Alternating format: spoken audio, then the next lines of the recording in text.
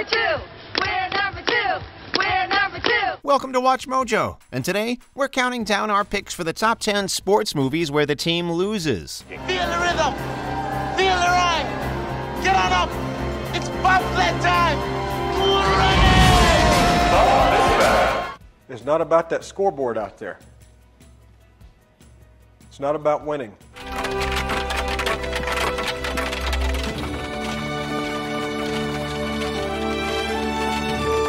For this list, we'll be looking at the endings of sports movies wherein the protagonists do not ultimately emerge victorious. And even though it's in the title, films don't have to center on team sports to merit inclusion, so single sports like boxing are fair game. Naturally, the list is going to be one giant spoiler, so you have been warned. What sports movie loss was the most devastating for you? Lament in the comments.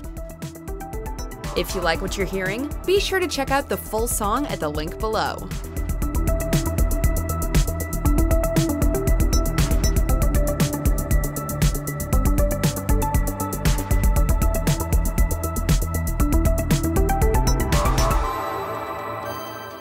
Number 10, A League of Their Own. Are you crying? Are you crying? There's no crying. There's no crying in baseball. As we'll see with many entries on this list, the final game of A League of Their Own is about as close as it can be. This fictionalized retelling of the inaugural season of the All American Girls Professional Baseball League follows the Rockford Peaches, led by Geena Davis's superstar catcher Dottie Hinson, as they push the Racine Bells to a decisive Game 7. In it, Dottie gets the go ahead RBI in the top of the ninth against her sister, Kit. Kit, forever in the shadow of her sister, gets the chance to redeem herself by miraculously hustling for an inside the park home run. High fastballs. Just can't hit him. Can't lay off. All right. The throw beats her to the plate, but the collision knocks the ball out of Dottie's glove, sealing the championship for the Bells.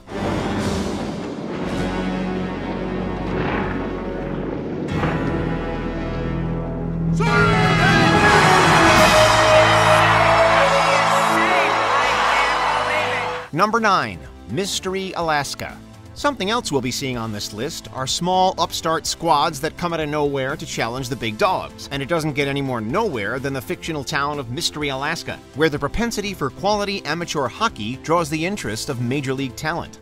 I play hockey and I fornicate because those are the two most fun things in cold weather. Mystery manages to get the New York Rangers of the NHL to fly in for an exhibition game. Though they at one point surrender five straight goals, the Mystery Boys storm back in the final minutes. They line up the game tying shot, but the puck ultimately bangs off the crossbar as time expires.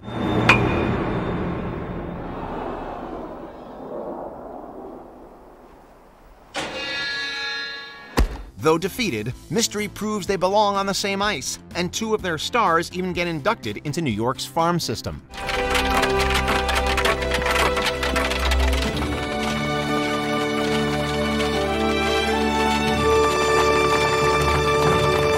Number 8, Whip It. We're number two. We're number two. We're number two. We're number two. We've all had to navigate schedule conflicts, but usually the conflicting things aren't a beauty pageant and a roller derby. Roller derby? However, that's exactly the position the teenaged Bliss is faced with at the end of Whip It. Though Bliss would rather compete at the roller derby championship, pressure from Bliss's domineering mother forces the teenager to do the other. Compassion wins the day, however, as Bliss's father convinces his wife that their child's happiness is the most important thing. I can take losing the money. I cannot take losing the chance for our kid to be happy. Again donning the moniker Babe Ruthless, Bliss and the rest of the Hurl Scouts come close to victory, but more importantly, come together as a team. Just like the beginning of the film, we are again inspired by their positive post game attitude.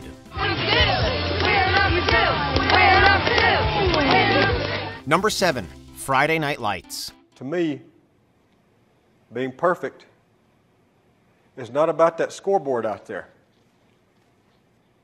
It's not about winning.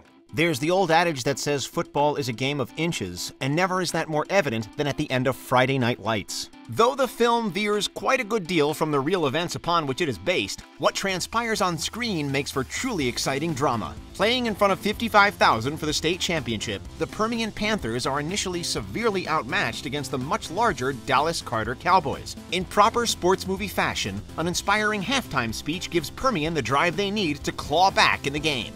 I want you to put each other in your hearts forever. Because forever is about to happen here in just a few minutes. It all comes down to the last play as Permian scrambles to find the end zone.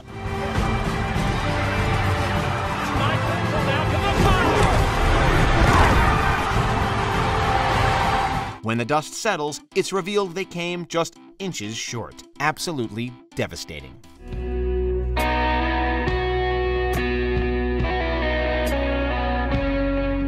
Number 6. Kingpin.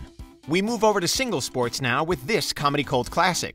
Years after losing his right hand, bowling phenom Roy Munson looks to reclaim his shot at glory by coaching Amish prospect Ishmael to a $1 million jackpot at a tournament in Reno. Okay, you want to bowl for some big money, hey? But uh, I'll lose my entire bonus check because I'm so bombed. As fate would have it, however, Ishmael breaks his hand in a freak wall punching accident. A real Munson. With Ishmael in his corner, it's instead Roy who enters the tournament using his rubber prosthetic hand to get the job done. We don't quite know how that works, but Roy manages to bowl his way into the final against the man responsible for his injury. Roy has the lead in the final frame, but McCracken bowls three strikes in a row to win by a single pin.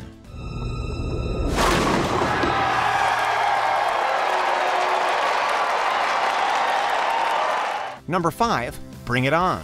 Even in competition, there are more important things than winning, such as the respect for oneself and one's opponent. In Bring It On, the Rancho Carne Toros cheer squad must rediscover that respect upon learning their previous routines were lifted from those of the East Compton Clovers squad. Our game is bad, we're without peer, so get that weak mess out of here! Tried to steal our bit, but you look like shit, but we're the ones who are down with it! Newly appointed captain Torrance Shipman looks to rectify her predecessor's cheating ways, but there are some serious speed bumps along the way. You want to make it right? Then when you go to nationals, bring it. Don't slack off because you feel sorry for us. That way, when we beat you, we'll know it's because we're better. At Nationals, the New Look Toros ultimately cede their titles to the Clovers. However, now that the Toros have an identity of their own, the two squads are able to overcome their strife and come together in the spirit of friendly competition. I respect what you guys did out there. You guys were good. Thanks. You were better. We were, huh?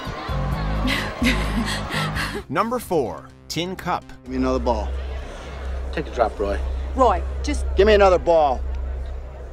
Winning a title certainly puts you in the record books, but it's the individual moments that people remember. Case in point, no one thought Roy McAvoy would be in contention for the US Open in 1996's Tin Cup, but it wasn't his final score that shocked them. When faced with the same shot on the 18th hole he missed the last three days, Roy foregoes his lead and goes for it again, only for it to land squarely in the water once more. Rather than press on and accept the tie, Roy goes for it continuously, miraculously managing to get it in the hole on his last ball.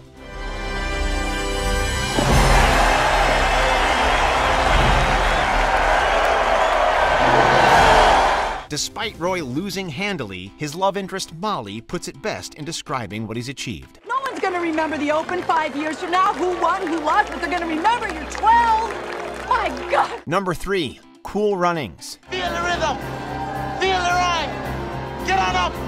It's bobsled time. Cool running. Cool Runnings is another biographical sports film that fudges the truth for the sake of suspense, but we're not going to let that keep us from cheering. Fact or fiction, an Olympic bobsled team from Jamaica is a Cinderella story just by getting to the big dance, let alone actually contending. However, the dramatization in this Disney classic certainly made us believe, maybe not on their first day, but definitely on their second. On the last run, the Jamaicans look poised to finish in record time, but tragedy strikes when their sled crashes. Unscathed and undeterred, the bobsledders carry their sled across the finish line on foot, their determination more than earning a slow clap.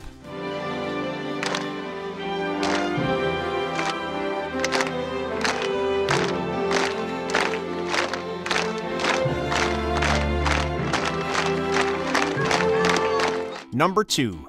The Bad News Bears. When it comes to sports movies, there's no zeros to heroes story quite like The Bad News Bears. The Pee Wee Bears are the definition of a hopeless team, forfeiting their first game before they even get the chance to bat. It's a forfeit. We forfeit the game. You forfeit? Yeah. That's it! That's a game! Yet somehow, with a roster of misfits and a drunken coach, they're able to turn their season around in a hurry. Okay, okay, with the help of a couple of ringers, which are staples in the sports movie genre. Look, Boilermaker, you're not my father, and I ain't interested in playing baseball for you anymore. So why don't you get back into that sardine can of yours and go, go vacuum the bottom of the Pacific Ocean? I've got business to take care of. Though the Bears have a title victory in their sights, Coach Buttermaker rightly realizes winning isn't everything and subs his bench warmers in, so everyone can have fun. The Bears, of course, lose, but they certainly celebrate like they won with beer showers.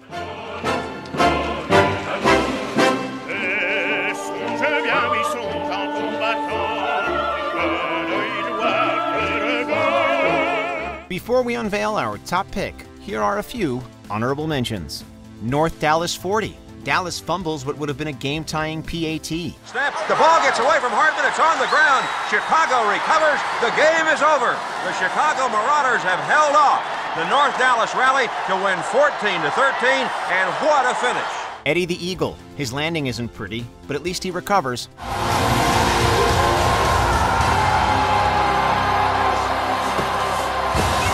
Coach Carter. They lost in the playoffs, but won in school.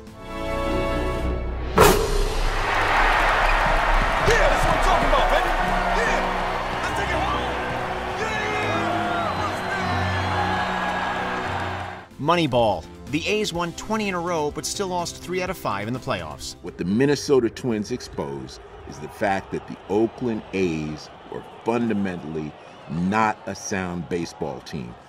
Before we continue, be sure to subscribe to our channel and ring the bell to get notified about our latest videos. You have the option to be notified for occasional videos or all of them. If you're on your phone, make sure you go into your settings and switch on notifications.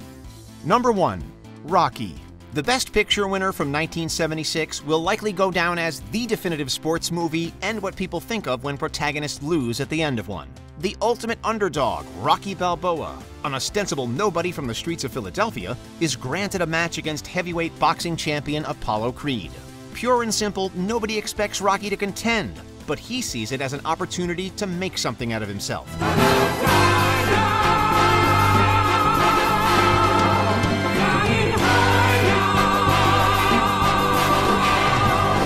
He trains and trains and trains some more, and his tenacity ensures he only loses to Creed via a split decision, though he really couldn't care less. Adrian! Rocky! Hey, where's your hat?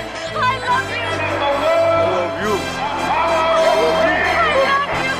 love you! It's such a memorable outcome that the franchise replicated it in later installments Rocky Balboa and Creed.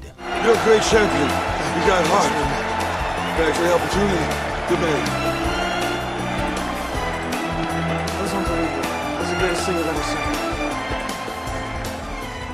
Do you agree with our picks? Let us know in the comments. And hey, if you're a fan of the song playing right now, be sure to check out the music video for it right here.